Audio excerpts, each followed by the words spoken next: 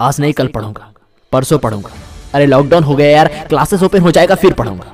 एक तारीख से पढ़ता हूँ। जिसको पढ़ना होता है ना मेरे दोस्त, वो बहाने नहीं बनाता। इतनी सारी वीडियोस देखकर टाइम पास नहीं करता, बल्कि वो पढ़ता है। उसको किसी चीज़ की फ़िक्र नहीं होती। फ़िक्र होती है तो सिर्फ़ पढ़ाई की होती है।